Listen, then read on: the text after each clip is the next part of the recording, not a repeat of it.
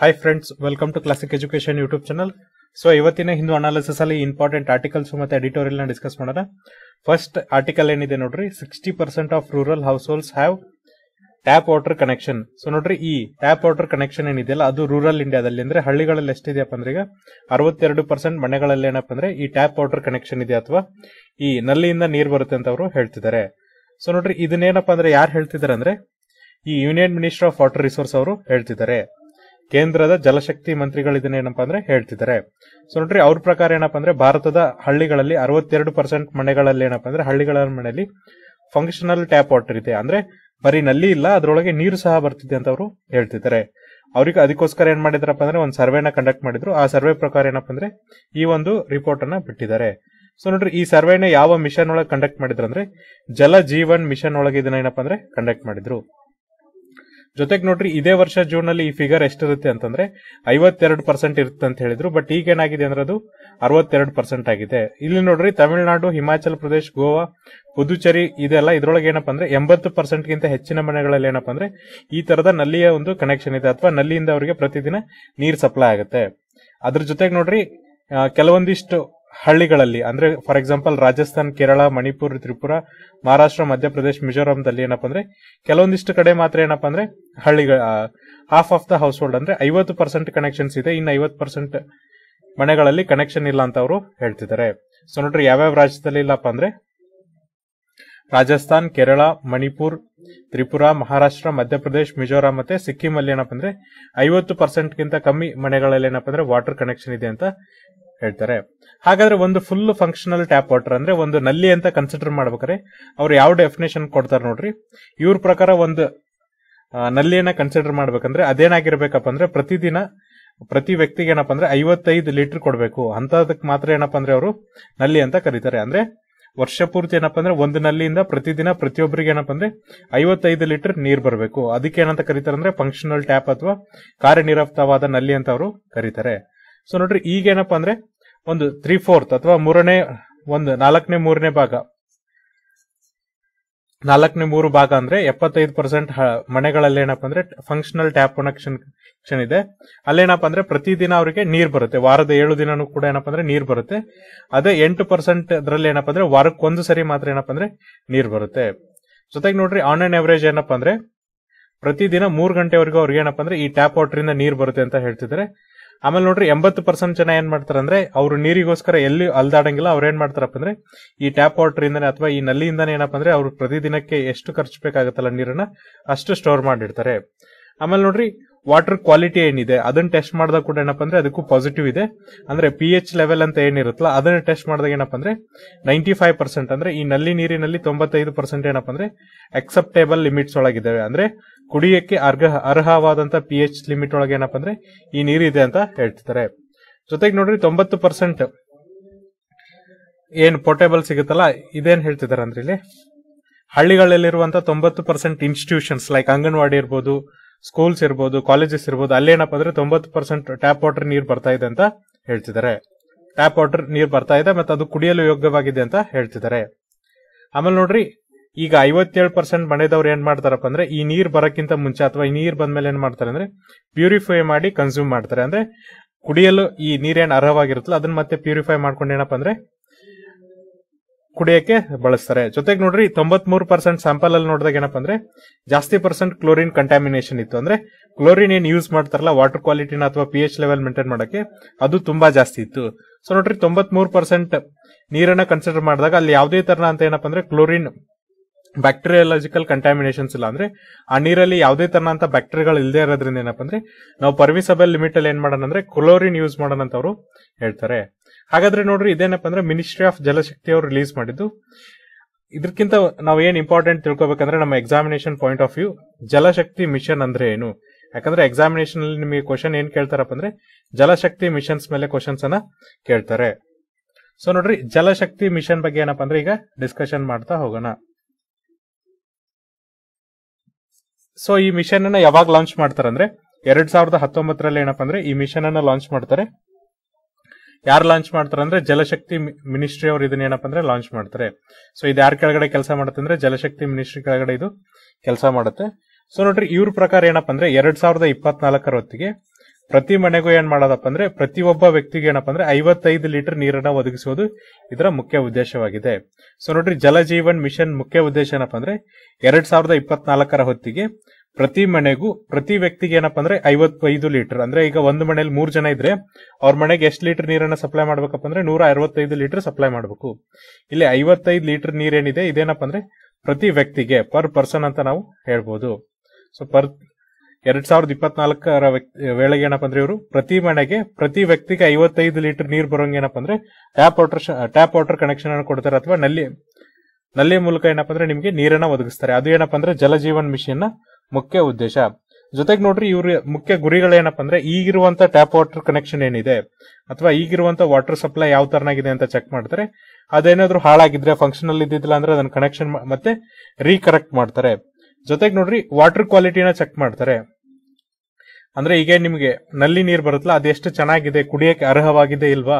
ಅರ್ಹವಾಗಿಲ್ಲ ಅಂದ್ರೆ ಅದಕ್ಕೆ ಯಾವ ತರ ಅಂತ ಟ್ರೀಟ್ಮೆಂಟ್ ಕೊಟ್ಟು ಅದನ್ನೇನಪ್ಪ ಅಂದ್ರೆ ಕುಡಿಯಲು, ಬಳಸಲು ಯೋಗ್ಯವಾಗಬೇಕು. ಅದನ್ನ ಏನಪ್ಪ ಅಂದ್ರೆ ಇಲ್ಲಿ ಟೆಸ್ಟಿಂಗ್ ಅನ್ನ ಮಾಡ್ತಾರೆ. ಜೊತೆಗೆ ನೋಡ್ರಿ ಸಸ್ಟೈನೇಬಲ್ ಅಗ್ರಿಕಲ್ಚರ್ ಅಂದ್ರೆ ಸುಸ್ಥಿರವಾಗಿ ಯಾವ ತರನಾಗಿ ನಾವು ಕೃಷಿಯನ್ನ ಮಾಡಬಹುದು ಅಂತ ಅವರು ಯೋಚನೆ ಮಾಡ್ತಿರ್ತಾರೆ. ಜೊತೆಗೆ ಏನಪ್ಪ ಅಂದ್ರೆ ಗ್ರೇ ವಾಟರ್ ಅನ್ನ ಯೂಸ್ ಮಾಡ್ತಾರೆ.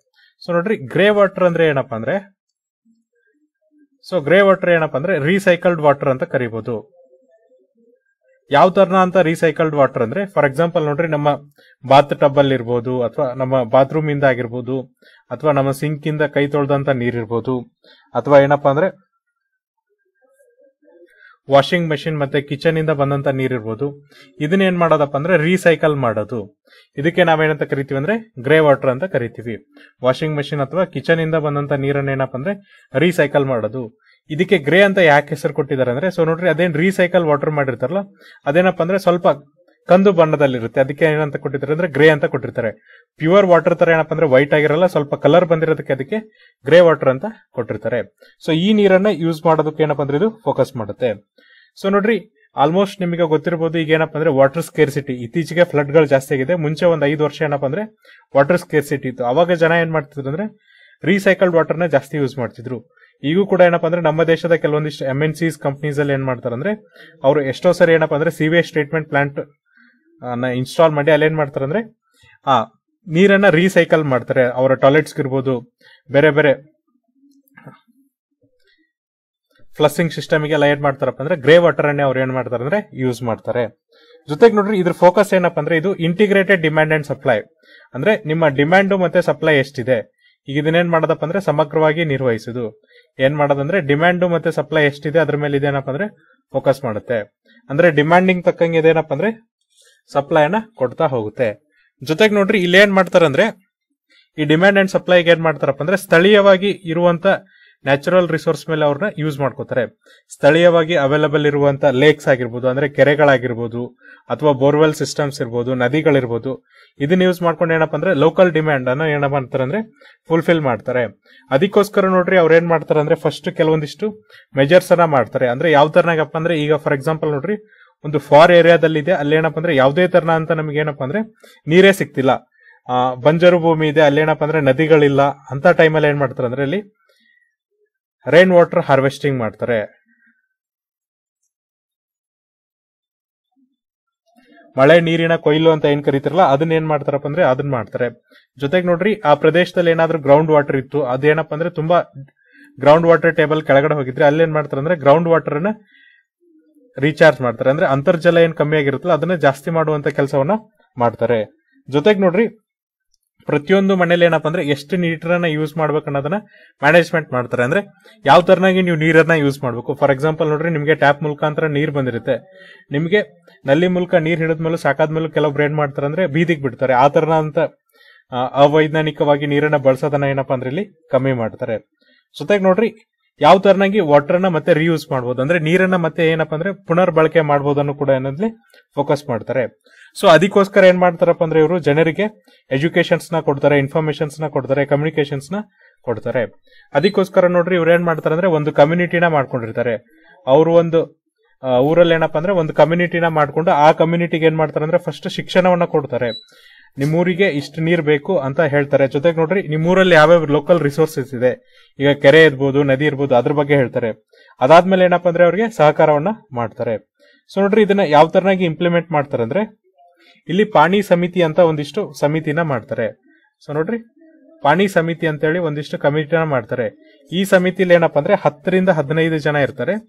ಇದರಲ್ಲಿ ಏನಪ್ಪಾ ಅಂದ್ರೆ ಐವತ್ತು ಪರ್ಸೆಂಟ್ ಜನ ಯಾರು ಇರ್ತಾರೆ ಅಂದ್ರೆ ಈ ಲೋಕಲ್ ಸೆಲ್ಫ್ ಹೆಲ್ಪ್ ಗ್ರೂಪ್ಸ್ ಇರ್ಬೋದು ಅಥವಾ ಆಶಾ ಕಾರ್ಯಕರ್ತರು ಇರಬೇಕು. ಜೊತೆಗೆ ನೋಡ್ರಿ, ಅಂಗನವಾಡಿ ವರ್ಕರ್ಸ್ ಇರಬೇಕು. ಇದ್ರ ಜೊತೆಗೆ ಯಾರು ಇರ್ಬೇಕಪ್ಪ ಅಂದ್ರೆ ಗ್ರಾಮ ಸಭೆ ಮೆಂಬರ್ಸ್ ಕೂಡ ಇರ್ಬೇಕಂತ ಅವರು ಹೇಳ್ತಿದ್ದಾರೆ. ಸೊ ನೋಡ್ರಿ, ಇವರೆಲ್ಲ ಕೂಡ ಏನಪ್ಪಾ ಅಂದ್ರೆ ಒಂದು ಪ್ಲಾನ್ ಅನ್ನ ಮಾಡ್ತಾರೆ. ನಮ್ಮ ಊರಿಗೆ ಎಷ್ಟು ನೀರು ಬೇಕು, ನಾವ್ ಎಷ್ಟನ್ನ ಸಪ್ಲೈ ಮಾಡಬಹುದು ಜೊತೆಗೆ ಯಾವ ರಿಸೋರ್ಸ್ ಇಂದ ನಾವೇನಪ್ಪ ಅಂದ್ರೆ ನೀರನ್ನ ತೆಗೆದುಕೊಳ್ಬಹುದು ಅಂತ ಇವರೊಂದು ಪ್ಲಾನ್ ಮಾಡ್ತಾರೆ. ಈ ಪ್ಲಾನ್ ಅನ್ನ ಏನ್ ಮಾಡ್ತಾರೆ ಅಂದ್ರೆ ಗ್ರಾಮ ಸಭೆ. ಊರಿನ ಗ್ರಾಮ ಸಭೆ ಮುಂದೆ ಏನ್ ಮಾಡ್ತಾರಪ್ಪ ಅಂದ್ರೆ ಆ ಪ್ಲಾನ್ ಅನ್ನ ಇಡ್ತಾರೆ. ಸೊ ಗ್ರಾಮ ಸಭೆಯವರು ಏನಪ್ಪ ಅಂದ್ರೆ ಇದಕ್ಕೆ ಅಪ್ರೂವಲ್ ಕೊಟ್ಟು ಏನ್ ಮಾಡ್ತಾರೆ ಅಂದ್ರೆ ಓಕೆ ಇಷ್ಟು ನೀರ್ ಬೇಕು, ಇಷ್ಟು ಫಂಕ್ಷನಲ್ ಇದೆ ಅಂದ್ರೆ, ಈಗ ಇಷ್ಟು ಸಪ್ಲೈ ಆಗ್ತಿದೆ, ಇನ್ನು ಅಡಿಷನಲ್ ಇಷ್ಟು ಮೂಲ ಸೌಕರ್ಯವನ್ನು ಒದಗಿಸ್ಬೇಕಂತ ಹೇಳಿ ಅವ್ರು ಅಪ್ರೂವಲ್ ಕೊಡ್ತಾರೆ. ಅವಾಗ ಏನಾಗುತ್ತಪ್ಪ ಅಂದ್ರೆ ಇದು ಜಾರಿ ಆಗುತ್ತೆ. ಜೊತೆಗೆ ನೋಡ್ರಿ, ಇಲ್ಲಿ ಫಂಡಿಂಗ್ ಪ್ಯಾಟರ್ನ್ ಅನ್ನು ನೋಡೋದಾದ್ರೆ, ಇಲ್ಲಿ ಕೇಂದ್ರ ಸರ್ಕಾರ ಮತ್ತೆ ರಾಜ್ಯ ಸರ್ಕಾರಗಳ ಫಂಡಿಂಗ್ ಪ್ಯಾಟರ್ನ್ ಅನ್ನು ನೋಡೋದಾದ್ರೆ ಇದನ್ನ ಕೇಂದ್ರ ಅಂತ ತಗೊಳ್ಳೋಣ, ಇದನ್ನ ರಾಜ್ಯ ಸರ್ಕಾರ ಅಂತ ತಗೊಳ್ಳೋಣ. ಈಗ ನೋಡ್ರಿ, ಹಿಮಾಲಯನ್ ಸ್ಟೇಟ್ ಇದ್ರೆ ಕೇಂದ್ರ ಸರ್ಕಾರ ತೊಂಬತ್ ಪರ್ಸೆಂಟ್ ಫಂಡಿಂಗ್ ಮಾಡುತ್ತೆ, ರಾಜ್ಯ ಸರ್ಕಾರ ಹತ್ತು ಪರ್ಸೆಂಟ್ ಫಂಡಿಂಗ್ ಮಾಡುತ್ತೆ. ಅದೇ ಯೂನಿಯನ್ ಟೆರಿಟರಿ ಇದ್ರೆ ನೂರ್ ಪರ್ಸೆಂಟ್ ಕೇಂದ್ರ ಸರ್ಕಾರನೇ ಫಂಡಿಂಗ್ ಮಾಡುತ್ತೆ. ಬಿಟ್ಟು ಬೇರೆ ಎಲ್ಲ ರಾಜ್ಯಗಳಿಗೆ ಏನಪ್ಪಾ ಅಂದ್ರೆ ಫಿಫ್ಟಿ ಫಿಫ್ಟಿ ಪರ್ಸೆಂಟೇಜ್ ಫಂಡಿಂಗ್ ಅನ್ನ ಮಾಡುತ್ತೆ. ಸೊ ಇದು ಏನಪ್ಪಾ ಅಂದ್ರೆ ಜಲಜೀವನ್ ಮಿಷನ್ ಬಗ್ಗೆ. ಅಂದ್ರೆ ಜಲಜೀವನ್ ಮಿಷನ್ ಸ್ಥಾಪನೆ ಆಗಿದ್ದು ಯಾಕೆ? ಅದರ ಉದ್ದೇಶ ಏನು? ಅದರ ಗುರಿ ಏನು? ಈಗೇನಪ್ಪ ಅಂದ್ರೆ ಫಂಕ್ಷನಲ್ ಟ್ಯಾಪ್ ವಾಟರ್ ಕೊಡ್ತಿದಾರಲ್ಲ ಅದನ್ನ ಯಾವ ತರನಾಗಿ ಇನ್ನೂ ಕೂಡ ಏನಪ್ಪಾ ಅಂದ್ರೆ ಇಂಪ್ರೂವ್ಮೆಂಟ್ ಅನ್ನ ಮಾಡಬಹುದು ಅಂದ್ರೆ ನಿಮ್ಮ ಲೋಕಲಿ ನೀಡ್ಸ್ ಅನ್ನ ಫುಲ್ಫಿಲ್ ಮಾಡಿಬಿಟ್ರೆ ನೀವು ಬೇರೆ ಕಡೆಯಿಂದ ಪೈಪ್ ಕನೆಕ್ಷನ್ ತರುವಂತ ಅವಶ್ಯಕತೆ ಇರಲ್ಲ. ಸೊ ನೋಡ್ರಿ ನಮ್ಮ ನೆಕ್ಸ್ಟ್ ಆರ್ಟಿಕಲ್ ಏನಿದೆ ಅಂದ್ರೆ, Telangana scoops Swachh Bharat, Swachh Survekshan Grameen twenty twenty two award ನೋಡ್ರಿ ಈಗ ತೆಲಂಗಾಣಕ್ಕೆ ಏನಾಗಿದೆ ಅಂದ್ರೆ ಸ್ವಚ್ಛ ಸರ್ವೇಕ್ಷಣ್ ಗ್ರಾಮೀಣ ಅವಾರ್ಡ್ ಒಳಗೆ ಏನಪ್ಪ ಅಂದ್ರೆ ಫಸ್ಟ್ ಬಂದಿದೆ ಅಂತ ಅವರು ಹೇಳ್ತಿದ್ದಾರೆ. ಜೊತೆಗೆ ನೋಡ್ರಿ ನಮ್ಮ ರಾಷ್ಟ್ರಪತಿಗಳು ಏನ್ ಹೇಳ್ತಿದ್ದಾರೆ ಅಂದ್ರೆ ಈ ಆರು ಲಕ್ಷ ಹಳ್ಳಿಗಳು ಏನಿದೆಯಲ್ಲ ಇಂಡಿಯಾದಲ್ಲಿ ಅದನ್ನೇನಪ್ಪ ಅಂದ್ರೆ ಓಪನ್ ಡೆಫಿಕೇಶನ್ಸ್ ಫ್ರೀ ಮಾಡೋದು. ಅಂದ್ರೆ ಬಯಲು ಮಲ ವಿಸರ್ಜನೆ ಏನ್ ಮಾಡ್ತಾರಲ್ಲ, ಅದನ್ನ ನಿಲ್ಲಿಸಬೇಕು ಸೆಕೆಂಡ್ ಫೇಸ್ ಆಫ್ ಸ್ವಚ್ಛ ಭಾರತ್ ಮಿಷನ್ ಒಳಗಂತ ಅವರು ಹೇಳ್ತಿದ್ದಾರೆ. ಜೊತೆಗೆ ನೋಡ್ರಿ ತೆಲಂಗಾಣ ಏನಿದೆಯಲ್ಲ, ಇದೇನಪ್ಪ ಅಂದ್ರೆ ಈ ಕ್ಲೀನಿನೆಸ್ ಒಳಗೆ ಅಂದ್ರೆ ಹಳ್ಳಿಗಳೆಲ್ಲ, ಹಳ್ಳಿಗಳ ಒಂದು ಸ್ವಚ್ಛತೆ ಒಳಗೆ ಏನಪ್ಪಾ ಅಂದ್ರೆ ಸ್ವಚ್ಛ ಭಾರತ್ ಸರ್ವೇಕ್ಷಣ್ ಗ್ರಾಮೀಣ ಒಳಗೆ ಫಸ್ಟ್ ಬಂದಿದೆ ಅಂತ ಅವರು ಹೇಳ್ತಿದ್ದಾರೆ. ತೆಲಂಗಾಣ ಆದ್ಮೇಲೆ ಸೆಕೆಂಡ್ ಪ್ಲೇಸ್ ಅಲ್ಲಿ ಯಾವ್ದಿದೆಯಪ್ಪ ಅಂದ್ರೆ ಹರಿಯಾಣ ಇದೆ. ಇದಾದ್ಮೇಲೆ ಥರ್ಡ್ ಫೇಸ್ ಅಲ್ಲಿ ಏನಪ್ಪಾ ಅಂದ್ರೆ ತಮಿಳುನಾಡು ಇದೆ ಅಂತ ಅವರು ಹೇಳ್ತಿದ್ದಾರೆ. ಸೊ ನೋಡ್ರಿ, ಸ್ವಚ್ಛ ಭಾರತ್ ಅಥವಾ ಸ್ವಚ್ಛ ಸರ್ವೇಕ್ಷಣ್ ಗ್ರಾಮೀಣ ಅವಾರ್ಡ್ ಇದೆಯಲ್ಲ, ಇದೇನ್ ಮಾಡತ್ತಪ್ಪ ಅಂದ್ರೆ ಈ ರಾಜ್ಯಗಳನ್ನ, ಜಿಲ್ಲೆಗಳನ್ನ ಏನಪ್ಪ ಅಂದ್ರೆ ಅವರ ಪರ್ಫಾರ್ಮೆನ್ಸಸ್ ಮೇಲೆ ಅಂದ್ರೆ ಅವ್ರ ಯಾವ ತರನಾಗಿ ಪರ್ಫಾರ್ಮ್ ಮಾಡಿದ್ದಾರೆ. ಸ್ವಚ್ಛ ಭಾರತ್ ಗ್ರಾಮೀಣ್ ಮಿಷನ್ ಒಳಗೆ ಯಾವ ತರನಾಗಿ ಪರ್ಫಾರ್ಮೆನ್ಸ್ ಮಾಡಿದಾರೆ ಅನ್ನೋದ್ರ ಮೇಲೆ ಏನಪ್ಪ ಅಂದ್ರೆ ಅವ್ರಿಗೆ ರ್ಯಾಂಕಿಂಗ್ ಅನ್ನ ಕೊಡ್ತಾರೆ. ಜೊತೆಗೆ ನೋಡ್ರಿ, ಇದೇನ್ ಮಾಡತ್ತಪ್ಪ ಅಂದ್ರೆ, ಈ ರೂರಲ್ ಕಮ್ಯುನಿಟೀಸ್ ಒಳಗೆ ಕೆಲವೊಂದಿಷ್ಟು ಇಂಪ್ರೂವ್ಮೆಂಟ್ಸ್ ಅನ್ನ ಮಾಡುತ್ತೆ. ಅಂದ್ರೆ ಈಗ ಅವರ ಸ್ಯಾನಿಟೇಷನ್ ಬಗ್ಗೆ, ಅಂದ್ರೆ ಅವರ ನೈರ್ಮಲೀಕರಣದ ಬಗ್ಗೆ ಏನ್ ಸ್ಟೇಟಸ್ ಇದೆಯಲ್ಲ, ಅದನ್ನ ಇಂಪ್ರೂವ್ಮೆಂಟ್ ಮಾಡಕ್ಕೆ ಏನಪ್ಪ ಅಂದ್ರೆ ಈ ಒಂದು ಮಿಷನ್ ಕೆಲಸ ಮಾಡುತ್ತೆ ಅಂತ ಹೇಳ್ತಿದ್ದಾರೆ. ಈಗ ನೋಡ್ರಿ ಸ್ಮಾಲರ್ ಸ್ಟೇಟ್ಸ್ ಒಳಗೆ ಮತ್ತೆ ಯೂನಿಯನ್ ಟೆರಿಟರೀಸ್ ಒಳಗೆ ಅಂಡಮಾನ್, ನೆಕೋಬಾರ್ ಇದೆಯಲ್ಲ, ಅದೇನಪ್ಪ ಅಂದ್ರೆ ಫಸ್ಟ್ ರ್ಯಾಂಕ್ ಬಂದ್ರೆ, ಇದಾದ್ಮೇಲೆ ದಾದ್ರಾ ನಗರ್ ನಾಗರ್, ಹವೇಲಿ ಬಂದಿದೆ. ಆಮೇಲೆ ದಮನ್ ಅಂಡ್ ದಿಯು ಮತ್ತೆ ಸಿಕ್ಕಿಂ ಏನಪ್ಪ ಅಂದ್ರೆ ಥರ್ಡ್ ಪ್ಲೇಸ್ ಅಲ್ಲಿ ಇದೆ ಅಂತ ಹೇಳ್ತಿದ್ದಾರೆ. ಫಸ್ಟ್ ಯಾವ್ದಪ್ಪ ಅಂದ್ರೆ Andaman and Nicobar second ಯಾವ್ದಂದ್ರೆ Dadra and Nagar Haveli, Daman and Diu third ಏನಪ್ಪ ಅಂದ್ರೆ ಸಿಕ್ಕಿಂ, ಇದೇನಪ್ಪ ಅಂದ್ರೆ ಸಣ್ಣ ಮತ್ತು ಯೂನಿಯನ್ ಟೆರಿಟರಿ ಪ್ಲೇಸಸ್ ಒಳಗೆ. ಈ ದೊಡ್ಡ ರಾಜ್ಯಗಳಲ್ಲಿ ಫಸ್ಟ್ ಯಾವ್ದಪ್ಪ ಅಂದ್ರೆ ತೆಲಂಗಾಣ ಸೆಕೆಂಡ್ ಹರಿಯಾಣ, ಮೂರನೇದು ತಮಿಳುನಾಡು. ಸೊ ನೋಡ್ರಿ ಸ್ವಚ್ಛ ಭಾರತ್ ಗ್ರಾಮೀಣ್ ಮಿಷನ್ ಇದೆಲ್ಲ ಇದೇನಪ್ಪ ಅಂದ್ರೆ ನಮ್ಮಲ್ಲಿ ಕೆಲವೊಂದಿಷ್ಟು ಬಿಹೇವಿಯರಲ್ ಚೇಂಜಸ್ ತಂದಿದೆ ಅಂತ ಹೇಳ್ತಿದ್ದಾರೆ. ಅಂದ್ರೆ ನಮ್ಮ ಹಳ್ಳಿಗಳಲ್ಲಿ ಟಾಯ್ಲೆಟ್ ಅನ್ನ ಯೂಸ್ ಮಾಡೋದಿರ್ಬೋದು, ಜೊತೆಗೆ ಅವಾಗ ಅವಾಗ ಕೈಯನ್ನ ತೊಳೆಯೋದಿರ್ಬೋದು.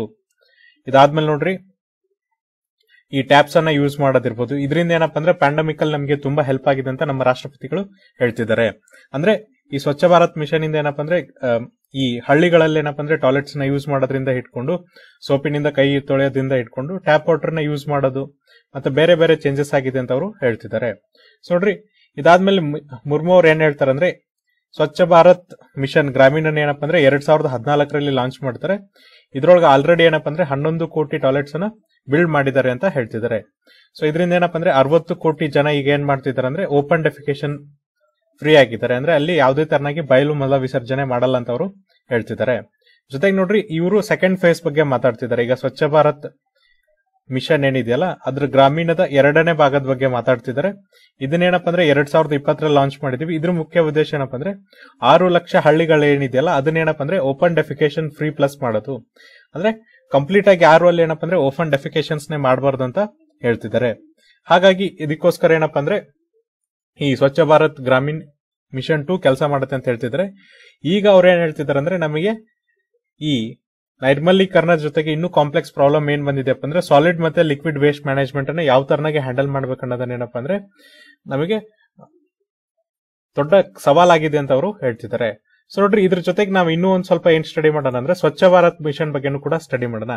ಯಾಕಂದ್ರೆ ಎಕ್ಸಾಮಿನೇಷನ್ ಅಲ್ಲಿ ಏನ್ ಮಾಡ್ತಾರೆ ಅಂದ್ರೆ ನಿಮಗೆ ಜಸ್ಟ್ ಕ್ವಶನ್ಸ್ ಏನಪ್ಪಾ ಅಂದ್ರೆ ಈ ಸ್ವಚ್ಛ ಭಾರತ್, ಸ್ವಚ್ಛ ಸರ್ವೇಕ್ಷಣ್ ಸಮೀಕ್ಷೆ ಮೇಲೂ ಕೇಳಲ್ಲ ಕೆಲವೊಂದ್ ಟೈಮ್ ಏನ್ ಮಾಡ್ತಾರೆ ಅಂದ್ರೆ ಅದ್ರ ರಿಲೇಟೆಡ್ ಸ್ಕೀಮ್ ಆದಂತ ಮೇಲೂ ಕ್ವಶನ್ ಕೇಳ್ತಾರೆ. ಹಾಗಾಗಿ ಇದ್ರ ರಿಲೇಟೆಡ್ ಸ್ಕೀಮ್ ಆದಂತ ಸ್ವಚ್ಛ ಭಾರತ್ ಮಿಷನ್ ಬಗ್ಗೆ ನಿಮ್ಗೆ ಏನಪ್ಪಾ ಅಂದ್ರೆ ಕ್ವಶನ್ಸ್ ಅನ್ನ ಕೇಳ್ಬಹುದು ಹಾಗಾಗಿ ನಾವೇನಪ್ಪ ಅಂದ್ರೆ ಈಗ ಸ್ವಚ್ಛ ಭಾರತ್ ಮಿಷನ್ ಬಗ್ಗೆ ಡಿಸ್ಕಷನ್ ಮಾಡ್ತಾ ಹೋಗೋಣ. ಸೊ ನೋಡ್ರಿ, ಸ್ವಚ್ಛ ಭಾರತ್ ಮಿಷನ್ ಇದೆಯಲ್ಲ, ಇದನ್ನ ಯಾವಾಗ ಲಾಂಚ್ ಮಾಡಿದ್ರಪ್ಪ ಅಂದ್ರೆ ಎರಡ್ ಸಾವಿರದ ಹದಿನಾಲ್ಕರಲ್ಲಿ ಇದನ್ನ ಲಾಂಚ್ ಮಾಡಿದ್ರು. ಅದು ಕೂಡ ಏನಪ್ಪಾ ಅಂದ್ರೆ ಸೆಕೆಂಡ್ ಅಕ್ಟೋಬರ್ ಎರಡ್ ಸೆಕೆಂಡ್ ಅಕ್ಟೋಬರ್ ಎರಡ್ ಸಾವಿರದ ಹದಿನಾಲ್ಕರಂದ್ರು ಇದನ್ನ ಲಾಂಚ್ ಮಾಡಿದ್ರು. ಯಾಕೆ ಸೆಕೆಂಡ್ ಅಕ್ಟೋಬರ್ ಲಾಂಚ್ ಮಾಡಿದ್ರು ಅಂದ್ರೆ ಅವತ್ತು ಗಾಂಧಿ ಜಯಂತಿ ದಿನ ಏನಪ್ಪ ಅಂದ್ರೆ ಇದನ್ನ ಲಾಂಚ್ ಮಾಡಿದ್ರು.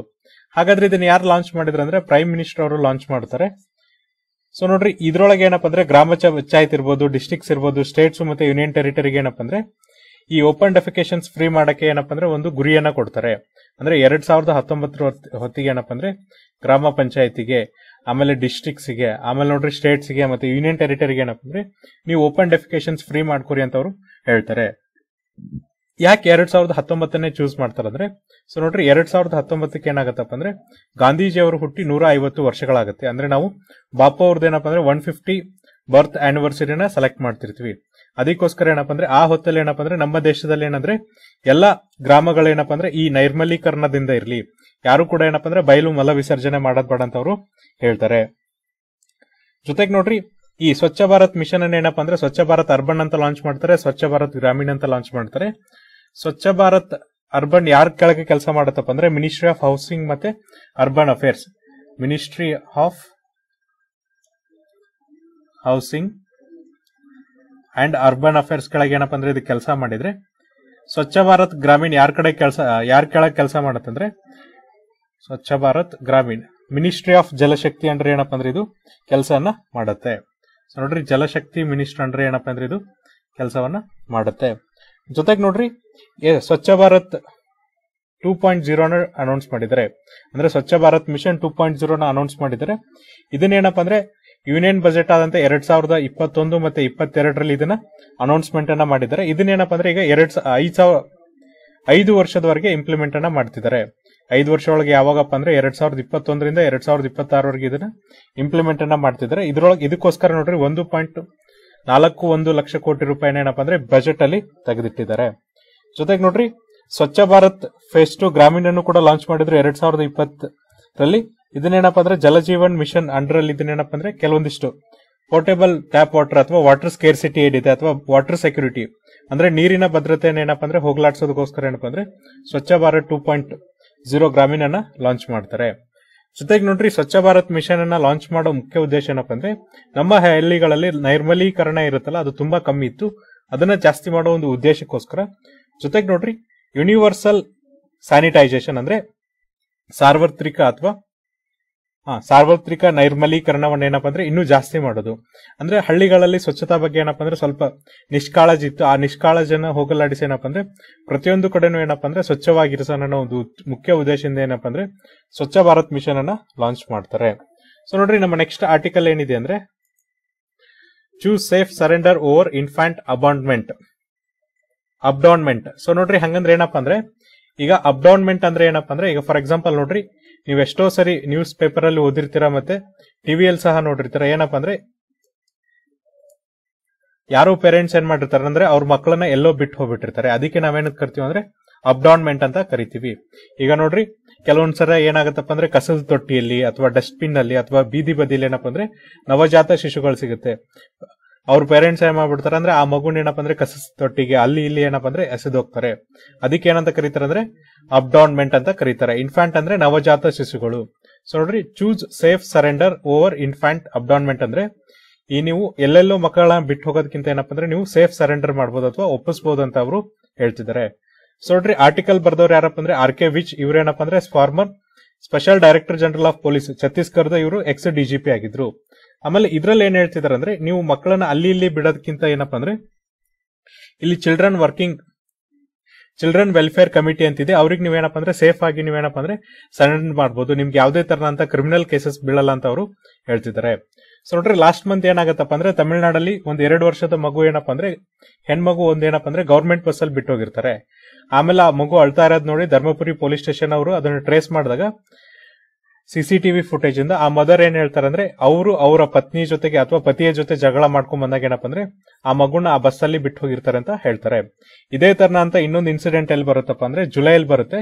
ಈಗ ನೋಡ್ರಿ, ಎರಡು ವಾರದ ಒಂದು ಸಣ್ಣ ಮಗುನ ಅಥವಾ ನವಜಾತ ಶಿಶುವನ್ನ ಏನ್ ಮಾಡ್ತಾರೆ ಅಂದ್ರೆ ಒಂದು ಕ್ಲೋಸಸ್ಟ್ ಟೀ ಸ್ಟಾಲ್ ಪಕ್ಕದಲ್ಲಿ, ಅಂದ್ರೆ west ಬೆಂಗಾಲದ new town twenty four Parganas ಅಲ್ಲಿ ಬಿಟ್ಟು ಹೋಗ್ತಾರೆ. ಆಮೇಲೆ ಆ ಮಗುವನ್ನ ರೆಸ್ಕ್ಯೂ ಮಾಡ್ತಾರೆ ರೆಸ್ಕ್ಯೂ ಮಾಡ್ತಾರೆ ಅಂದ್ರೆ ಕಾಪಾಡ್ತಾರೆ. ಆಮೇಲೆ ನೋಡ್ರಿ, ಅದಕ್ಕೆ ಏನ್ ಮಾಡ್ತಾರೆ ಅಂದ್ರೆ ಆ ಮಗು- ಮಗುಗೆ ಇಮಿಡಿಯೇಟ್ ಮೆಡಿಕಲ್ ಏಡ್ ಅನ್ನ ಕೊಟ್ಟು ಆ ಪೇರೆಂಟ್ಸ್ ಅನ್ನ ಏನಪ್ಪ ಅಂದ್ರೆ ಟ್ರ್ಯಾಕ್ ಮಾಡಕ್ಕಾಗಲ್ಲ ಅಂತ ಹೇಳ್ತಾರೆ. ಸೊ ಇದೇ ತರನಂತ ರಿಪೋರ್ಟ್ಸ್ ಅನ್ನ ನೀವ್ ಏನ್ ಮಾಡ್ತೀರ ಅಂದ್ರೆ ಬೇರೆ ಬೇರೆ ಕಡೆನೂ ಕೂಡ ಕೇಳಿರ್ತೀರ. ಸೊ ಫಾರ್ ಎಕ್ಸಾಂಪಲ್ ನೋಡ್ರಿ, ನವಜಾತ ಶಿಶುಗಳನ್ನ ನೀವೇನಪ್ಪ ಅಂದ್ರೆ ಗಾರ್ಬೇಜ್ ಫೈಲ್ಸ್ ಅಂದ್ರೆ ಈ ಕಸದ ತೊಟ್ಟಿಲಿ ಡಸ್ಟ್ಬಿನ್ಸ್ ಅಲ್ಲಿ ಬಸ್ಸಸ್ ಅಲ್ಲಿ ರೋಡ್ ಸೈಡ್ ಅಲ್ಲಿ ಆಮೇಲೆ ರಿಲಿಜಿಯಸ್ ಪ್ಲೇಸಸ್ ಅಲ್ಲಿ ಅಂದ್ರೆ ಗುಡಿ, ಗುಂಡಾಂತರ, ಮಸೀದಿ, ಬೇರೆ ಬೇರೆ ಕಡೆ ಬಿಟ್ಟು ಹೋಗಿರ್ತಾರೆ. ಜೊತೆಗೆ ನೋಡ್ರಿ, ಇದೇನಪ್ಪ ಅಂದ್ರೆ ತುಂಬಾ ಕಾಮನ್ ಆಗಿದೆ ಅಂತ ಅವರು ಹೇಳ್ತಿದ್ದಾರೆ. ಸೊ ನೋಡ್ರಿ ನ್ಯಾಷನಲ್ ಕ್ರೈಮ್ ರೆಕಾರ್ಡ್ಸ್ ಬ್ಯೂರೋ ಪ್ರಕಾರ ಏನಪ್ಪ ಅಂದ್ರೆ, ಏಳ್ನೂರ ಒಂಬತ್ತು ಹಂತ ಕ್ರಿಮಿನಲ್ ಕೇಸಸ್ ಎಕ್ಸ್ಪೋಜರ್ ಆಗಿದೆ ಅಂತ ಹೇಳ್ತಿದ್ದಾರೆ. ಈ ಹನ್ನೆರಡು ವರ್ಷದ ಕೆಳಗಿನ ಮಕ್ಕಳನ್ನ ಈ ಹೋದ ವರ್ಷ ಎರಡ್ ಸಾವಿರದ ಇಪ್ಪತ್ತೊಂದರಲ್ಲಿ ಎಷ್ಟು ಜನ ಬಿಟ್ಟೋಗಿದ್ದಾರೆ ಅಂದ್ರೆ ಏಳ್ನೂರ ಒಂಬತ್ತು ಜನ ಬಿಟ್ಟೋಗಿದ್ದಾರೆ ಅಥವಾ ಏಳ್ನೂರ ಒಂಬತ್ತು ಕ್ರಿಮಿನಲ್ ಕೇಸಸ್ ಅನ್ನ ಈ ನ್ಯಾಷನಲ್ ಕ್ರೈಮ್ ರೆಕಾರ್ಡ್ ಬ್ಯೂರೋದವ್ರು ಏನ್ ಮಾಡಿದಾರಪ್ಪ ಅಂದ್ರೆ ರೆಕಾರ್ಡ್ ಅನ್ನ ಮಾಡ್ಕೊಂಡಿದ್ದಾರೆ. ಇದ್ರೊಳಗೆ ನೋಡ್ರಿ, ಇದನ್ನ under section three one seven ಒಳಗೆ ಅವ್ರು ಏನ್ ಮಾಡ್ತಾರೆ ಅಂದ್ರೆ ರೆಜಿಸ್ಟ್ರೇಷನ್ಸ್ನ ಮಾಡ್ತಾರೆ. ಇಲ್ಲಿ ಒಂದು ಮುಖ್ಯವಾದ ಕ್ಲಾಸ್ ಇದೆ ನೋಡ್ರಿ, ಏನಪ್ಪಾ ಅಂದ್ರೆ ಯಾವುದೇ ತರನಂತ ಒಂದು ಕೇಸಸ್ ಅನ್ನ ರಿಜಿಸ್ಟರ್ ಮಾಡಲ್ಲ. ಯಾವಾಗಪ್ಪ ಅಂದ್ರೆ ಒಂದು ಮಗುವನ್ನ ಚೈಲ್ಡ್ ವೆಲ್ಫೇರ್ ಕಮಿಟಿಗೆ ಕೊಟ್ಟಾಗ ಯಾವುದೇ ಕೇಸಸ್ ಅನ್ನ ರಿಜಿಸ್ಟ್ರೇಷನ್ ಮಾಡಲ್ಲ ಅಂತ ಅವರು ಹೇಳ್ತಿದ್ದಾರೆ. ಈ ಕಮಿಟಿನ ಏನಪ್ಪಾ ಅಂದ್ರೆ juvenile justice care and protection of children act two thousand fifteen ಅಲ್ಲಿ ಸ್ಥಾಪನೆ ಮಾಡಲಾಗಿದೆ.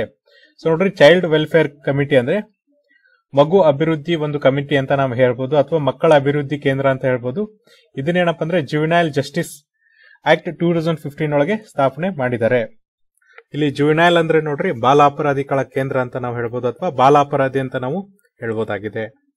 ಸೊ ನೋಡ್ರಿ ಆತರ್ ನೆಕ್ಸ್ಟ್ ಪ್ಯಾರಾದಲ್ಲಿ ಏನ್ ಡಿಸ್ಕಸ್ ಮಾಡ್ತಾರೆ ಅಂದ್ರೆ ಅಬಾಂಡೆಂಟ್ ವರ್ಸಸ್ ಸರೆಂಡರ್ ಅಂದ್ರೆ ಬೀದಿಗೆ ಬಿಡೋದು ಮತ್ತೆ ಏನಪ್ಪ ಅಂದ್ರೆ ಮಕ್ಕಳನ್ನ ಒಪ್ಪಿಸೋದು ಅಥವಾ ಅದನ್ನೇನಪ್ಪ ಅಂದ್ರೆ ಸರೆಂಡರ್ ಮಾಡೋದು. ಸೊ ನೋಡ್ರಿ, ಇಲ್ಲಿ ಕ್ವಶನ್ ಏನ್ ಮಾಡ್ತಾರೆ ಅಂದ್ರೆ ಈಗ ಬಯಾಲಜಿಕಲ್ ಪೇರೆಂಟ್ಸ್ ಅಂದ್ರೆ ಯಾರ ಮಗುವನ್ನ ಹೆತ್ತಿರ್ತಾರಲ್ಲ, ಮತ್ತೆ ಆ ತರದ ಪೇರೆಂಟ್ಸ್ ಇರ್ಬೋದು ಗಾರ್ಡಿಯನ್ಸ್ ಇರ್ಬೋದು, ಅವ್ರೇನಪ್ಪ ಅಂದ್ರೆ ಅವ್ರ ಮಕ್ಕಳನ್ನ ಬೆಳ್ಸಕ್ ಆಗಲ್ಲ ಅಂತಂದ್ರೆ ಅವ್ರನ್ನ ಏನಪ್ಪ ಅಂದ್ರೆ ಎಸ್ಪೆಷಲಿ ಅಬಾಂಡೆಂಟ್ ಮಾಡೋದಕ್ಕಿಂತ ಮುಂಚೆ, ಅಂದ್ರೆ ಅವ್ರನ್ನ ಬೀದಿಯಲ್ಲಿ ಬಿಟ್ಟು ಹೋಗೋದಕ್ಕಿಂತ ಮುಂಚೆ ಏನ್ ಮಾಡ್ಬೋದಪ್ಪ ಅಂದ್ರೆ ಅವ್ರನ್ನ ಏನ್ ಮಾಡ್ಬೋದು ಅಂದ್ರೆ ಅಡಾಪ್ಷನ್ ಕೊಡ್ಬೋದು ಅಥವಾ ಏನ್ ಮಾಡ್ಬೋದಪ್ಪ ಅಂದ್ರೆ ಸರೆಂಡರ್ ಮಾಡ್ಬೋದು ಅಂತ ಅವರು ಹೇಳ್ತಿದ್ರು. ಯಾಕಂದ್ರೆ ಎಸ್ಪೆಷಲಿ ನೋಡ್ರಿ ನಮ್ಮ ದೇಶದಲ್ಲಿ ಏನಪ್ಪ ಅಂದ್ರೆ ಅಡಾಪ್ಷನ್ ಮಾಡ್ಕೊಳ್ಳೋದಕ್ಕೆ ಅಥವಾ ಒಬ್ಬರನ್ನ ದತ್ತು ಪಡೆಯೋದಕ್ಕೆ ಏನಪ್ಪ ಅಂದ್ರೆ ಜಾಸ್ತಿ ಜನ ಅಪ್ಲಿಕೇಶನ್ಸ್ನ ಹಾಕ್ತಿದ್ದಾರೆ. ಫಾರ್ ಎಕ್ಸಾಂಪಲ್ ನೋಡ್ರಿ ಈ ಲೀಗಲಿ ಅಡಾಪ್ಟ್ ಮಾಡ್ಕೊಳಕಿರುವಂತ ಮಕ್ಕಳೇನಿದಾರಲ್ಲ ಅವ್ರೇನಪ್ಪ ಅಂದ್ರೆ ಅಡಾಪ್ಷನ್ ಮಾಡ್ಕೊಳ್ಳೋರ ಮಕ್ಕಳ ಮ್, ಕಮ್ಮಿ ಇದೆ. ಅಂದ್ರೆ ದತ್ತು ಪಡೆಯುವಂತವ್ರು ಏನಪ್ಪ ಅಂದ್ರೆ ಜಾಸ್ತಿ ಇದ್ದಾರೆ ಆದ್ರೆ ಮಕ್ಕಳೇ ಇಲ್ಲ ಅಂತ ಅಲ್ಲಿ ಹೇಳ್ತಿದ್ದಾರೆ ಮಕ್ಕಳನ್ನ ದತ್ತು ಪಡೆಯಕ್ಕೆ ಏನಪ್ಪ ಅಂದ್ರೆ ಮಕ್ಕಳು ಕಮ್ಮಿ ಇದ್ದಾರೆ ಬಟ್ ದತ್ತು ಪಡೆಯೋರ ಸಂಖ್ಯೆ ಜಾಸ್ತಿ ಇದೆ ಅಂತ ಹೇಳ್ತಿದ್ದಾರೆ ಇಂತ ಒಂದು ಸಿಚುವೇಶನ್ ಅಲ್ಲಿ ಏನಪ್ಪ ಅಂದ್ರೆ ಮಗುನ ನೀವು ಏನಪ್ಪ ಅಂದ್ರೆ ಬೀದಿ ಬದಿ ಅಲ್ಲಿ ಅಲ್ಲಿ ಬಿಡೋದಕ್ಕಿಂತ ಏನಪ್ಪ ಅಂದ್ರೆ ನಿಮಗೆ ಆ ಮಗುನ ಬೆಳ್ಸಕ್ಕಾಗಲ್ಲ ನೀವು ಸರೆಂಡರ್ ಮಾಡ್ಬೇಕಂದ್ರೆ ಬಂದು ಏನಪ್ಪ ಅಂದ್ರೆ ಈ ತರನಾದಂತ ಅಡಾಪ್ಷನ್ ಸೆಂಟರ್ಗೆ ನೀವು ಕೊಡ್ಬೋದಲ್ಲ ಅಂತ ಹೇಳ್ತಾರೆ. ಸೊ ನೋಡ್ರಿ, ಒಂದು ಪೋರ್ಟಲ್ ಪ್ರಕಾರ ಯಾವ್ದಪ್ಪ ಅಂದ್ರೆ ಸೆಂಟ್ರಲ್ ಅಡಾಪ್ಷನ್ ರಿಸೋರ್ಸ್ ಅಥಾರಿಟಿ ಪ್ರಕಾರ ಏನಪ್ಪ ಅಂದ್ರೆ ಒಟ್ಟು ದೇಶದಲ್ಲಿ ಏನಂದ್ರೆ ಎರಡ್ ಸಾವಿರದ ಒಂಬೈನೂರ ತೊಂಬತ್ತೊಂದು ಅಡಾಪ್ಷನ್ ಆಗಿದೆ ಅಥವಾ ದತ್ತುವನ್ನ ಪಡೆದಿದ್ದಾರೆ. ಇದು ನಮ್ಮ ದೇಶದೊಳಗಡೆ. ಅದೇ ತರನಾಗಿ ನಾಲ್ಕನೂರ ಹದಿನಾಲ್ಕು ನೋಡ್ರಿ ಇಂಟರ್ ಕಂಟ್ರಿ ಅಂದ್ರೆ ಬೇರೆ ಬೇರೆ ದೇಶಗಳಿಗೆ ಏನಪ್ಪ ಅಂದ್ರೆ ಅಡಾಪ್ಷನ್ ಮಾಡ್ಕೊಂಡು ಹೋಗಿದ್ದಾರೆ. ಒಟ್ಟು ರೆಕಾರ್ಡ್ ಆದಂತ ಕೇಸಸ್ ಎಷ್ಟಿದಾವ ಅಂದ್ರೆ ಏಳ್ನೂರ ತೊಂಬತ್ತೊಂದು ಅಂದ್ರೆ ಈ ಮಕ್ಕಳನ್ನ ಬಿಟ್ಟು ಹೋಗಿರುವಂತ ಕೇಸಸ್ ಎಷ್ಟಿದಾವ ಅಂದ್ರೆ ಏಳ್ನೂರ ಒಂಬತ್ತು ಕೇಸ್ಗಳಿದ್ರೆ ಸೊ ನೋಡ್ರಿ, ನಮ್ಮ ದೇಶದಲ್ಲಿ ಕಳೆದ ವರ್ಷ ಅಡಾಪ್ಷನ್ ಆಗಿದೆ ಎಷ್ಟಪ್ಪ ಅಂದ್ರೆ ಎರಡ್ ಸಾವಿರದ ಒಂಬೈನೂರ ತೊಂಬತ್ತೊಂದು ದೇಶದೊಳಗೆ ಅಡಾಪ್ಷನ್ ಆಗಿದೆ ನಾಲ್ಕನೂರ ಹದಿನಾಲ್ಕು. ಬೇರೆ ದೇಶಗಳವರು ಅಡಾಪ್ಟ್ ಮಾಡ್ಕೊಂಡಿದ್ದಾರೆ. ಜೊತೆಗೆ ನೋಡ್ರಿ, ರಾಜ್ಯಸಭೆಯಲ್ಲಿ ಒಂದು ರಿಪೋರ್ಟ್ ಬರುತ್ತೆ. ಯಾವ್ದಪ್ಪ ಅಂದ್ರೆ one eighteenth report on review of guardianship and adoption laws ಇದ್ರ ಪ್ರಕಾರ ಏನಪ್ಪಾ ಅಂದ್ರೆ ಡಿಸೆಂಬರ್ ಹದಿನಾರು, ಎರಡ್ ಸಾವಿರದ ಇಪ್ಪತ್ತೊಂದರಂತೆ ಅಂದ್ರೆ ಎರಡ್ ಸಾವಿರದ ನಾಲ್ಕನೂರ ಮಕ್ಕಳನ್ನ ಏನಪ್ಪ ಅಂದ್ರೆ, ಎರಡ್ ಸಾವಿರದ ನಾಲ್ಕನೂರ ಮೂವತ್ತು ಮಕ್ಕಳನ್ನ ಏನಪ್ಪ ಅಂದ್ರೆ ದತ್ತು ತಗೊಂಡಿದ್ದಾರೆ. ಬಟ್ ಅಡಾಪ್ಟ್ ಮಾಡ್ತಿರುವಂತ ಪೇರೆಂಟ್ಸ್ ಎಷ್ಟಿದ್ದಾರೆ ಅಂದ್ರೆ, ಇಪ್ಪತ್ತಾರು ಸಾವಿರದ ಏಳ್ನೂರ ಮೂವತ್ನಾಲ್ಕು ಅಂದ್ರೆ ನೋಡ್ರಿ, ಈಗ ದತ್ತು ಪಡೆಯಕ್ಕೆ ಅರ್ಹರಿರುವ ಮಕ್ಕಳು ಎಷ್ಟಿದ್ದಾರೆ ಅಂದ್ರೆ, ಎರಡ್ ಸಾವಿರದ ನಾಲ್ಕನೂರ ಮೂವತ್ತು ಮಕ್ಕಳಿದ್ರೆ, ದತ್ತು ಪಡೆಯುವಂತ ಜನಸಂಖ್ಯೆ ಎಷ್ಟಿದೆ ಅಂದ್ರೆ, ಮಕ್ಕಳನ್ನ ನಾವು ದತ್ತು ಪಡಿತೀವಿ ಅಂತ ಹೇಳುವಂತ ಜನಸಂಖ್ಯೆ ಎಷ್ಟಿದೆ ಅಂದ್ರೆ, ಎರಡ್ ಸಾವಿರದ ಆರ್ನೂರ ಸಾರಿ ಇಪ್ಪತ್ತಾರು ಸಾವಿರದ ಏಳ್ನೂರ ಮೂವತ್ನಾಲ್ಕು ಜನರು ಏನಪ್ಪ ಅಂದ್ರೆ, ದತ್ತು ಪಡೆಯಕ್ಕೆ ಇನ್ನೂ ಕೂಡ ವೇಟಿಂಗ್ ಅನ್ನ ಮಾಡ್ತಾ ಇದ್ದಾರೆ. ಇಲ್ಲಿ ನೋಡ್ರಿ ಅಬಾಂಡೆಂಟ್ ಚೈಲ್ಡ್ ಅಥವಾ ಈ ಬೀದಿಗೆ ಬಿಟ್ಟ ಮದು ಹೋದಂತ ಮಗು ಯಾವ್ದಪ್ಪ ಅಂದ್ರೆ ಸೊ ನೋಡ್ರಿ, ಅವರ ಬಯಾಲಜಿಕಲ್ ಪೇರೆಂಟ್ಸ್ ಇರ್ಬೋದು ಅಥವಾ ಅಡಾಪ್ಟಿವ್ ಪೇರೆಂಟ್ಸ್ ಇರ್ಬೋದು. ಬೇರೆ ಯಾರಾದ್ರೂ ಪೇರೆಂಟ್ಸ್ ಏನಪ್ಪ ಅಂದ್ರೆ, ಆ ಮಗುನ ಏನಪ್ಪ ಅಂದ್ರೆ ಬೀದಿಯಲ್ಲಿ ಬಿಟ್ಟು ಹೋಗಿರ್ತಾರೆ. ಬೇರೆ ಬೇರೆ ರೀಸನ್ಗೆ ಫಿಸಿಕಲ್ ರೀಸನ್ ಇರ್ಬೋದು ಎಮೋಷನ್ ಮತ್ತೆ ಸೋಷಿಯಲ್ ಫ್ಯಾಕ್ಟರ್ ಏನಪ್ಪ ಅಂದ್ರೆ, ಆ ಮಗುನ ಅವ್ರು ಬೆಳ್ಸಕ್ಕಾಗದೆ ಬೀದಿ ಬದಿಗೆ ಎಸೆದು ಹೋಗ್ತಾರಲ್ಲ ಇದಕ್ಕೆ ನಾವೇನಂತ ಕರಿತೀವಿ ಅಂದ್ರೆ ಅಬಾಂಡೆಂಟ್ ಚೈಲ್ಡ್ ಅಂತ ಕರಿತೀವಿ. ಸೊ ನೋಡ್ರಿ ಜುವಿನೈಲ್ ಜಸ್ಟಿಸ್ ಆಕ್ಟ್ ಪ್ರಕಾರ ಏನಪ್ಪ ಅಂದ್ರೆ, ಇಲ್ಲೊಂದು ಓವರ್ ರೈಡಿಂಗ್ ಎಫೆಕ್ಟ್ ಅನ್ನ ಕೊಟ್ಟಿದ್ದಾರೆ. ಇನ್ ಕೇಸ್ ನೋಡ್ರಿ, ಈ ತರ ಬಿಟ್ಟೋದಂತ ಮಕ್ಕಳನ್ನ ತಂದೆ ತಾಯಿಯನ್ನ ನೀವೇನಾದ್ರೂ ಸರ್ಚ್ ಮಾಡ್ಬೇಕಾದ್ರೆ ನೀವು ಫಸ್ಟ್ ಏನಪ್ಪ ಅಂದ್ರೆ, ಯಾವುದೇ ತರನ ಅಂತ ಕ್ರಿಮಿನಲ್ ಆಕ್ಷನ್ಸ್ ಅನ್ನ ತಗೊಳಂಗಿಲ್ಲ. ಅಂದ್ರೆ ನೀವೇನಪ್ಪ ಅಂದ್ರೆ ನಾರ್ಮಲ್ ಎನ್ಕ್ವೈರಿಯನ್ನ ಮಾಡಬೇಕು. ಯಾಕಂದ್ರೆ, ನೀವು ಕ್ರಿಮಿನಲ್ ಆಕ್ಷನ್ಸ್ ಅನ್ನ ತಗೊಂಡ್ರೆ ಏನಾಗುತ್ತಪ್ಪ ಅಂದ್ರೆ, ಮತ್ತೆ ಅವರು ತಮ್ಮ ಮಗುಗಳನ್ನ ಒಪ್ಕೊಳ್ಳೋದಿಲ್ಲ. ಜೊತೆಗೆ ನೋಡ್ರಿ, ತಾವು ಕ್ರಿಮಿನಲ್ ಆಗ್ತೀವಿ ಅಂತ ಹೇಳಿ ಏನ್ ಮಾಡ್ತಾರಪ್ಪ ಅಂದ್ರೆ, ಅವರು ಬೇರೆ ಬೇರೆ ರೀತಿ ಹುಡ್ಕೊಂಡು ಹೈಡ್ ಮಾಡ್ತಾ ಹೋಗ್ತಾರೆ. ಸೊ ಹಾಗಾಗಿ ಈ ಪ್ರೊವಿಷನ್ಸ್ ಉದ್ದೇಶ ಏನಪ್ಪ ಅಂದ್ರೆ, ಈ ಯಾವುದೇ ತರನಂತ ಕ್ರಿಮಿನಲ್ ಪ್ರೊಸೀಜರ್ಸ್ ಇಲ್ಲದೆ ಜಸ್ಟ್ ಏನಪ್ಪ ಅಂದ್ರೆ ರಿಯುನೈಟ್ ಮಾಡೋದು ಒಂದು ಮುಖ್ಯ ಉದ್ದೇಶ ಆಗಿದೆ ಅಂತ ಅವರು ಹೇಳ್ತಿದ್ದಾರೆ. ಸೊ ಅದಕ್ಕೋಸ್ಕರ ನೀವೇನ್ ಮಾಡೋದಪ್ಪ ಅಂದ್ರೆ, ಈ ಬಿಟ್ಟು ಬೀದಿಲಿದ್ದಂತ ಮಗುನ ಏನಪ್ಪ ಅಂದ್ರೆ, ಅವರ ಬಯಾಲಜಿಕಲ್ ಪೇರೆಂಟ್ಸ್ ಹುಡ್ಕೋಕೆ ಅನುಕೂಲ ಮಾಡ್ಕೊಳ್ಳೋದು ಆಮೇಲೆ ಅವ್ರಿಗೆ ಇಷ್ಟ ಇದ್ರೆ ಏನಪ್ಪ ಅಂದ್ರೆ ತೆಗೆದುಕೊಳ್ಳೋದು, ಇಲ್ಲಾಂದ್ರೆ ಏನ್ ಮಾಡೋದಂದ್ರೆ ಬೇರೆ ಕಮಿಟಿ ಕೊಡೋದು. ಲೈಕ್ ಚೈಲ್ಡ್ ವೆಲ್ಫೇರ್ ಕಮಿಟಿ ಏನಿದೆ ಚಿಲ್ಡ್ರನ್ ವೆಲ್ಫೇರ್ ಕಮಿಟಿ ಏನಿದೆ, ಅಲ್ಲಿ ಏನಪ್ಪ ಅಂದ್ರೆ ಅವ್ರನ್ನ ಒಪ್ಸೋದು. ಸೊ ನೋಡ್ರಿ, ಯಾವಾಗ್ಲೂ ಏನ್ ಅಡ್ವೈಸ್ ಮಾಡ್ತಾರಂದ್ರೆ, ನೀವು ಮಕ್ಕಳನ್ನ ಏನಪ್ಪ ಅಂದ್ರೆ ಬೀದಿ ಬದಿಲಿ ಬಿಟ್ಟು ಹೋಗ್ಬೇಡ್ರಿ. ಅದ್ರ ಬದಲಿ ಏನ್ ಮಾಡ್ರಪ್ಪ ಅಂದ್ರೆ ಸರೆಂಡರ್ ಮಾಡ್ರಿ, ಒಬ್ರಿಗೆ ಒಪ್ಸೋಗ್ರಿ. ಯಾರಿಗೆ ಅಂದ್ರೆ ಸ್ಪೆಷಲಿ ಚೈಲ್ಡ್ ವೆಲ್ಫೇರ್ ಕಮಿಟಿಗೆ ಅದನ್ನ ಒಪ್ಸೋಗ್ರಿ ಅಂತ ಹೇಳ್ತಾರೆ. ಯಾಕಂದ್ರೆ ನೋಡ್ರಿ ಮಕ್ಕಳನ್ನ ನೀವು ಬೀದಿ ಬದಿಗೆ ಬಿಟ್ಟು ಹೋಗಿರ್ತೀರ, ಅದು ಬೇರೆ ಬೇರೆ ರೀಸನ್ ಗಳಿಂದ ಆ ಮಗುಗೆ ಏನಪ್ಪಾ ಅಂದ್ರೆ ಪ್ರಾಣ ಹಾನಿ ಆಗ್ಬೋದು ಅಥವಾ ಕೆಟ್ಟದಾದಂತ ಇನ್ಸಿಡೆಂಟ್ಸ್ ಆಗ್ಬೋದು. ಅದಕ್ಕೋಸ್ಕರ ಏನಪ್ಪಾ ಅಂದ್ರೆ ನೀವು ಮಗುವನ್ನ ಬೀದಿ ಬದಿ ಬಿಟ್ಟು ಹೋಗೋದಕ್ಕಿಂತ ಏನ್ ಮಾಡ್ಬೋದು ಅಂದ್ರೆ ಸರೆಂಡರ್ ಮಾಡ್ಬೋದು ಅಂತ ಹೇಳ್ತಿದ್ದಾರೆ. ಇದಕ್ ನೋಡ್ರಿ, ನೀವು ಏನ್ ಮಾಡ್ರಿ ಅಂದ್ರೆ ಚೈಲ್ಡ್ ವರ್ಕಿಂಗ್ ಕಮ್ಯುನಿಟಿ ಇದೆಯಲ್ಲ, ಇದರ ಮುಂದೆ ನೀವು ಸರೆಂಡರ್ ಮಾಡಿದ್ರೆ ಅವ್ರ ಏನಪ್ಪ ಅಂದ್ರೆ ಗ್ಯಾರಂಟಿ ತಗೋತಾರೆ. ಏನ್ ಗ್ಯಾರಂಟಿ ಹೇಳ್ತಾರಪ್ಪ ಅಂದ್ರೆ ನಿಮ್ಮ ಮಕ್ಕಳನ್ನ ಅವ್ರ ಏನಪ್ಪ ಅಂದ್ರೆ ಕೇರ್ ತೆಗೆ ತಗೋತಾರೆ ಎಲ್ಲಿವರೆಗೆ ಅಂದ್ರೆ ಅವರು ಮೆಜಾರಿಟಿ ಬರೋರ್ಗು ಏನಪ್ಪ ಅಂದ್ರೆ ಚೈಲ್ಡ್ ವರ್ಕಿಂಗ್ ಕಮಿಟಿ ಅವ್ರ ಏನ್ ಮಾಡ್ತಾರೆ ಅಂದ್ರೆ ಚೈಲ್ಡ್ ವೆಲ್ಫೇರ್ ಕಮಿಟಿ ಅವರು ಆ ಮಗುವಿನ ಕಾಳಜಿಯನ್ನ ವಹಿಸ್ತಾರೆ. ಸೊ ನೋಡ್ರಿ, ಈ ರೀಸನ್ಸ್ ಏನಪ್ಪಾ, ಈ ಮಕ್ಕಳನ್ನ ಬೀದಿ ಬದಿ ಬಿಟ್ಟು ಹೋಗೋ ಕಾರಣಗಳೇನಪ್ಪ ಅಂದ್ರೆ ಫಸ್ಟ್ ಅನ್ವಾಂಟೆಡ್ ಪ್ರೆಗ್ನೆನ್ಸಿ ಆಮೇಲೆ ನೋಡ್ರಿ ಬ್ರೇಕ್ ಡೌನ್ ಆಫ್ ರಿಲೇಶನ್ಶಿಪ್ ಅಂದ್ರೆ ಮದುವೆ ಆಗಿರ್ತಾರೆ, ಅಲ್ಲಿ ಏನಾಗತ್ತಪ್ಪ ಅಂದ್ರೆ ಗಂಡ, ಹೆಂಡತಿ ಸಪ್ರೇಟ್ ಆಗ್ತಾರೆ. ಆಮೇಲೆ ನೋಡ್ರಿ, ಕೆಳಮಟ್ಟದ ಸಾಮಾಜಿಕ ಮತ್ತೆ ಆರ್ಥಿಕ ಸ್ಟೇಟಸ್ ಇದಾದ್ಮೇಲೆ ಏನಪ್ಪಾ ಅಂದ್ರೆ, ಈ ಇಬ್ಬರಲ್ಲಿ ಒಬ್ರು ಪೇರೆಂಟ್ಸ್ ಏನಾಗಿರ್ತಾರೆ ಅಂದ್ರೆ ಡ್ರಗ್ ಅಡಿಕ್ಟ್ಸ್ ಆಗಿರ್ತಾರೆ ಅಥವಾ ಆಲ್ಕೋಹಿಕ್ ಅಂದ್ರೆ ಆಲ್ಕೋಹಾಲ್ ಅಡಿಕ್ಟ್ ಆಗಿರ್ತಾರೆ. ಇಂಥ ಪೇರೆಂಟ್ಸ್ ಏನ್ ಮಾಡ್ತಾರಪ್ಪ ಅಂದ್ರೆ ಮಕ್ಕಳನ್ನ ಬೀದಿ ಬದಿಗೆ ಬಿಟ್ಟು ಹೋಗ್ತಾರೆ ಅಂತ ಹೇಳ್ತಿದ್ದಾರೆ. ಜೊತೆಗೆ ನೋಡ್ರಿ, ಈ ಸಮಯದಲ್ಲಿ ಯಾವಾಗ ಒಂದು ಚೈಲ್ಡ್ ಅನ್ನ ಸರೆಂಡರ್ ಮಾಡಬಹುದು ಅಥವಾ ಅವ್ರನ್ನೇನಪ್ಪ ಅಂದ್ರೆ ಸರೆಂಡರ್ ಮಾಡ್ಕೊಳಕ್ ಅಥವಾ ಚೈಲ್ಡ್ ವೆಲ್ಫೇರ್ ಕಮಿಟಿ ಅಡಾಪ್ಟ್ ಮಾಡ್ಕೊಳಕ್ ಒಪ್ಪತ್ತೆ ಅಂದ್ರೆ ಸೊ ನೋಡ್ರಿ child can be consider eligible for surrender or declared so after prescribe process of enquiry and counselling ಅಂದ್ರೆ, ಈ ಪೇರೆಂಟ್ಸ್ ಅನ್ನ ಕೌನ್ಸಿಲಿಂಗ್ ಮಾಡಿ ಮತ್ತೆ ಎನ್ಕ್ವೈರಿ ಮಾಡಿದಾಗ ಏನಪ್ಪ ಅಂದ್ರೆ, ಆ ಮಗುವನ್ನ ಅವರು ಅಡಾಪ್ಟ್ ಮಾಡ್ಕೋತಾರೆ ಅಥವಾ ಸರೆಂಡರ್ ಮಾಡ್ಕೋತಾರೆ. ಯಾರು? ಚೈಲ್ಡ್ ವರ್ಕಿಂಗ್ ಕಮಿಟಿ ಅವರು ಚೈಲ್ಡ್ ವೆಲ್ಫೇರ್ ಕಮಿಟಿ ಅವರು. ಇದ್ರ ಜೊತೆಗೆ ನೋಡ್ರಿ ಚೈಲ್ಡ್ ವೆಲ್ಫೇರ್ ಕಮಿಟಿ ಅವ್ರು ಏನ್ ಮಾಡ್ತಾರಪ್ಪ ಅಂದ್ರೆ ಆ ಮಗುವಿನ ಯಾವುದೇ ಐಡೆಂಟಿಟಿ ಏನ್ ಮಾಡ್ತಾರೆ ಅಂದ್ರೆ ಯಾರಿಗೂ ತೋರಿಸಲ್ಲ. ಅದನ್ನ ಏನ್ ಮಾಡ್ತಾರೆ ಅಂದ್ರೆ ಕಾನ್ಫಿಡೆನ್ಷಿಯಲ್ ಆಗಿಡ್ತಾರೆ ಸೊ ನೋಡ್ರಿ ಆ ಮಗುವಿನ ಐಡೆಂಟಿಟಿ ಯಾರಿಗೂ ಗೊತ್ತಾಗಬಾರ್ದು. ಅದನ್ನ ಏನ್ ಮಾಡ್ತಾರೆ ಅಂದ್ರೆ ಕಾನ್ಫಿಡೆನ್ಷಿಯಲ್ ಆಗಿಡ್ತಾರೆ ಜೊತೆಗೆ ನೋಡ್ರಿ ಅದಕ್ಕೋಸ್ಕರ ಏನಪ್ಪ ಅಂದ್ರೆ ಪೇರೆಂಟ್ಸ್ ವರಿ ಮಾಡ್ಕೊಳ್ಳೋದಂತದ್ದು ಏನು ಇಲ್ಲ. ಆಮೇಲೆ ಏನಪ್ಪ ಅಂದ್ರೆ ನೀವು ಮಕ್ಕಳನ್ನ ಚೈಲ್ಡ್ ವೆಲ್ಫೇರ್ ಕಮಿಟಿಗೆ ಸರೆಂಡರ್ ಮಾಡೋದ್ರಿಂದ ನಿಮ್ಗೆ ಯಾವುದೇ ತರನ ಅಂತ ಕ್ರಿಮಿನಲ್ ಆಕ್ಷನ್ಸ್ ತಗೊಳ್ಳೋದಿಲ್ಲ ಅಂತ ಅವರು ಹೇಳ್ತಿದ್ದಾರೆ. ಅಂದ್ರೆ ನೀವು ವಾಲಂಟಿಯರ್ ಆಗಿ ಏನ್ ಮಾಡ್ಬೋದಪ್ಪ ಅಂದ್ರೆ ಚೈಲ್ಡ್ ವೆಲ್ಫೇರ್ ಕಮ್ಯುನಿಟಿಗೆ ಮಕ್ಕಳನ್ನ ಸರೆಂಡರ್ ಮಾಡಬಹುದು ಅಂತ ಅವರು ಹೇಳ್ತಿದ್ದಾರೆ. ಸೊ ಜೊತೆಗೆ ನೋಡ್ರಿ ಸುಪ್ರೀಂ ಕೋರ್ಟ್ ಅವರು ಇತ್ತೀಚೆಗೆ ಏನ್ ಮಾಡಿದಾರಪ್ಪ ಅಂದ್ರೆ ಒಂದು ಜಜ್ಮೆಂಟ್ ಅನ್ನ ಕೊಟ್ಟಿದ್ದಾರೆ. ಏನ್ ಜಜ್ಮೆಂಟ್ ಅನ್ನ ಕೊಟ್ಟಿದಾರಪ್ಪ ಅಂದ್ರೆ ಟರ್ಮಿನೇಷನ್ ಆಫ್ ಪ್ರೆಗ್ನೆನ್ಸಿ ಅಥವಾ ಅಬಾರ್ಷನ್ಸ್ ಬಗ್ಗೆ ಒಂದು ಜಜ್ಮೆಂಟ್ ಏನ್ ಇತ್ತೀಚೆಗೆ ಬಂದಿದೆಯಲ್ಲ, ಅದರಲ್ಲಿ ಅದನ್ನ ಇಲ್ಲಿ ಮೆನ್ಷನ್ ಮಾಡ್ತಿದ್ದಾರೆ.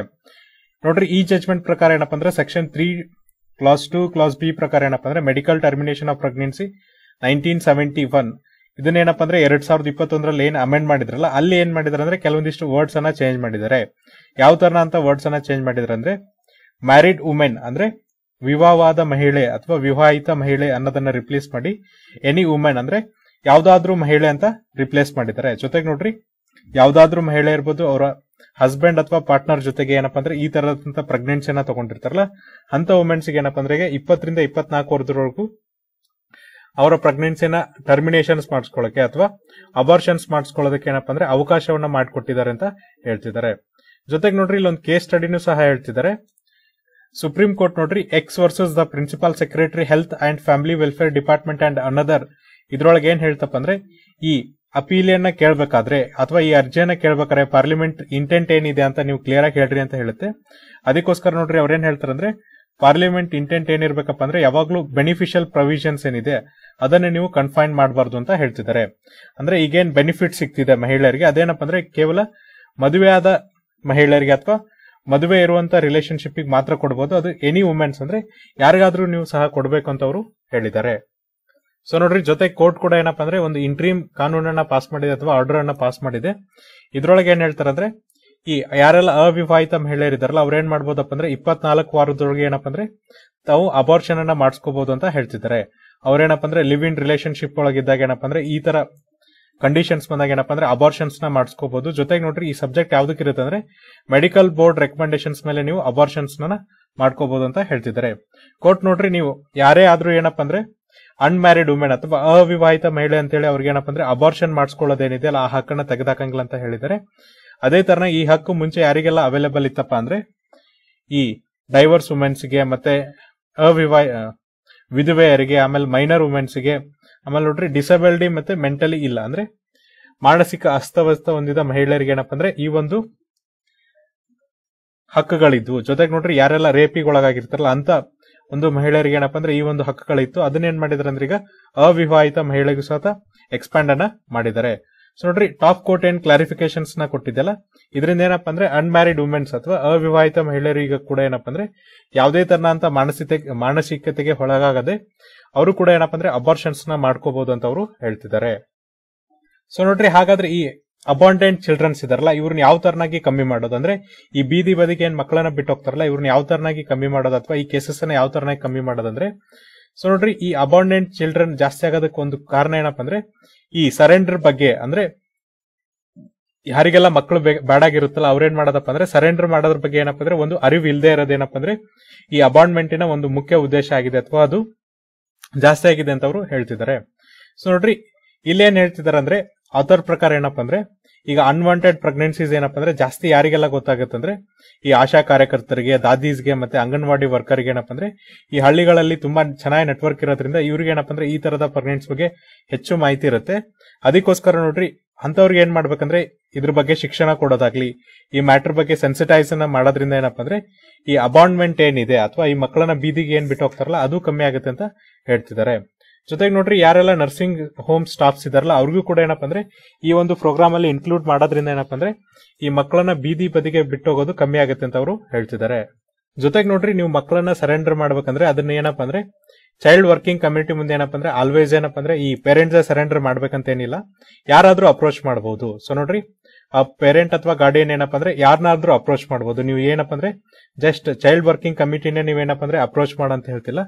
ನೀವು ಪೇರೆಂಟ್ಸ್ ಅಥವಾ ಗಾರ್ಡಿಯನ್ ಆಗಿದ್ರೆ ನೀವು ನೋಡ್ರಿ ಪೊಲೀಸ್ ಆಫೀಸರ್ಸ್ನ ಅಪ್ರೋಚ್ ಮಾಡಬಹುದು ಅಥವಾ ಯಾರಾದರೂ ಸಾರ್ವಜನಿಕ ಸೇವೆಯಲ್ಲಿರುವಂತ ಸೇವಕರನ್ನ ಅಪ್ರೋಚ್ ಮಾಡಬಹುದು ಪಬ್ಲಿಕ್ ಸರ್ವೆಂಟ್ ಅಥವಾ ಚೈಲ್ಡ್ ಲೈನ್ ಸರ್ವಿಸ್ ಅಲ್ಲಿ ಇದ್ದವ್ರನ್ನ ಅಪ್ರೋಚ್ ಮಾಡಬಹುದು ಜೊತೆಗೆ ನೋಡ್ರಿ ಎನ್ ಜಿ ನ ಅಪ್ರೋಚ್ ಮಾಡಬಹುದು ವಾಲಂಟರಿ ಆರ್ಗನೈಸೇಷನ್ಸ್ ಏನಿರುತ್ತೆ ಅವ್ರನ್ನ ಅಪ್ರೋಚ್ ಮಾಡಬಹುದು ಚೈಲ್ಡ್ ವೆಲ್ಫೇರ್ ಆಫೀಸರ್ಸ್ನ ಅಪ್ರೋಚ್ ಮಾಡಬಹುದು probation officer social worker public spirited officers ಜೊತೆಗೆ ನೋಡ್ರಿ ಪಬ್ಲಿಕ್ ಸ್ಪಿರಿಟೆಡ್ ಪರ್ಸನ್ ಜೊತೆಗೆ ನರ್ಸ್ ಡಾಕ್ಟರ್ ಮತ್ತೆ ಮ್ಯಾನೇಜ್ಮೆಂಟ್ ಆಫ್ ನರ್ಸಿಂಗ್ ಹೋಮ್ ಅನ್ನ ನೀವು ಅಪ್ರೋಚ್ ಮಾಡಬಹುದು ಹಾಸ್ಪಿಟಲ್ ಅನ್ನ ಅಥವಾ ಮೆಟರ್ನಿಟಿ ಹೋಮ್ ಅನ್ನ ನೀವೇನಪ್ಪ ಅಂದ್ರೆ ಅಪ್ರೋಚ್ ಅನ್ನ ಮಾಡಬಹುದು ನೀವು ಏನಪ್ಪ ಅಂದ್ರೆ ಜಸ್ಟ್ ಏನಪ್ಪ ಅಂದ್ರೆ ಚೈಲ್ಡ್ ವರ್ಕಿಂಗ್ ಕಮಿಟಿಗೆ ನೀವೇನಪ್ಪ ಅಂದ್ರೆ ಅಪ್ರೋಚ್ ಮಾಡಬೇಕಾಗಿಲ್ಲ. ಜೊತೆಗೆ ನೀವು ಬೇರೆ ಬೇರೆದವ್ರಿಗೂ ಅಪ್ರೋಚ್ ಮಾಡಬಹುದು ಅಂತ ಹೇಳ್ತಿದ್ದಾರೆ. ಈಗ ಅಪ್ರೋಚ್ ಮಾಡಿದವ್ರು ಏನ್ ಮಾಡ್ಬೇಕಪ್ಪ ಅಂದ್ರೆ ಏನ್ ನೀವು ಮಗುನ ಸರೆಂಡರ್ ಮಾಡಕ್ಕೆ ಅಪ್ರೋಚ್ ಮಾಡಿರ್ತಿರಲ್ಲ, ಅಂತ ಅಥಾರಿಟೀಸ್ ಅವ್ರು ಏನ್ ಮಾಡ್ಬೇಕಂದ್ರೆ ಮಗುನ ಏನಪ್ಪ ಅಂದ್ರೆ ಇಪ್ಪತ್ನಾಲ್ಕು ಗಂಟೆ ಒಳಗೆ ಚೈಲ್ಡ್ ವರ್ಕಿಂಗ್ ಅಥವಾ ಚೈಲ್ಡ್ ವೆಲ್ಫೇರ್ ಕಮಿಟಿ ಅವರಿಗೆ ಕೊಡ್ಬೇಕಂತ ಹೇಳ್ತಾರೆ.